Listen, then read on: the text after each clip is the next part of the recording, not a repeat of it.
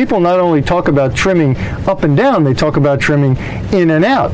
Well, this is a pretty easy one to wrap your head around, folks. When people talk about trimming the motors in, that's the same as down. It's moving the motor in closer to the transom of the boat. When they talk about trimming it out, it's trimming it up, farther away from the transom of the boat.